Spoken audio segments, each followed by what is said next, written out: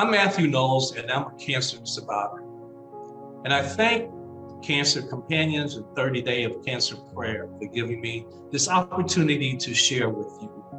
I remember like it was yesterday when I heard those words, you have cancer. It reminded me of a story, a trip that I once took to Los Angeles, going down the escalator there was a nun from Mexico who had a jar that says, please give to the missionary.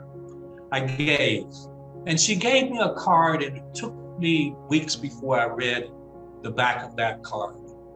This is the prayer that I want to share with you. It said, Pray not for life free from trouble. Pray for triumph over trouble. For what you and I call adversity God, the universe, calls opportunity. Let me tell you, when I heard those words, my mind immediately went to that prayer. So, my question what was the amazing opportunity that we were given?